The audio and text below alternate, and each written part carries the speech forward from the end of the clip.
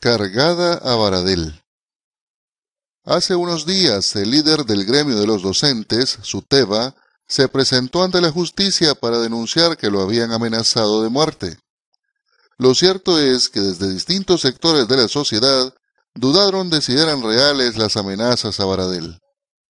Y en la red social Twitter se tomaron en risa las amenazas sufridas por el gremialista y colgaron una foto que da cuenta de un mensaje que le habrían dejado al defensor de los derechos de los docentes argentinos.